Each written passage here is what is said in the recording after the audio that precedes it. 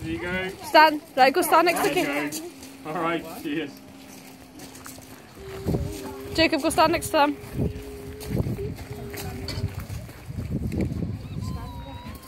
David.